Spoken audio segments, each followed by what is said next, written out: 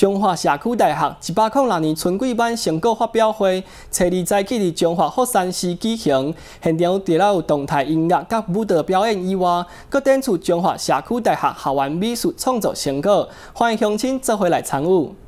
真济泰国表演为这场成果发表会带来高潮。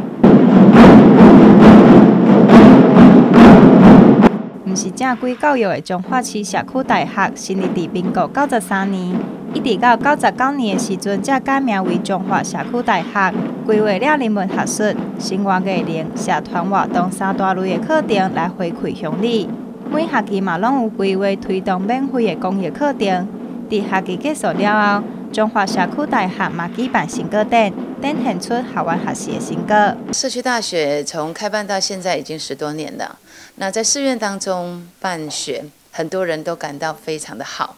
这个创意来自于星云大师，大师希望呢，我们寺院就是学校，一个寺院当中不是只有诵经拜佛，而是我们所有市民们一起来参与终身学习的课程。所以社区大学当初开始办理的时候，师傅只有给我们一个理念，希望给大家一个心灵的加油站。也就是说，他人生过程当中，无论你退休了或者还没有，你任何一个课程可以来到我们彰化社区大学，找到你所想学的。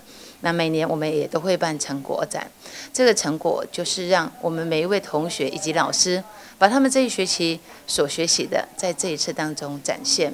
我觉得除了可以互相的这个观摩之外，最重要的可以让大家看得见，其实这些退休以后的这些的长者，或者还未退休的每一个人，潜力无穷。从不会唱歌到会唱歌，从不会音乐到会音乐，从不会画图到可以展览画图。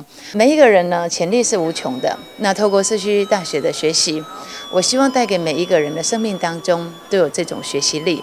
所以我觉得每一个人来参与都可以得到他的快乐。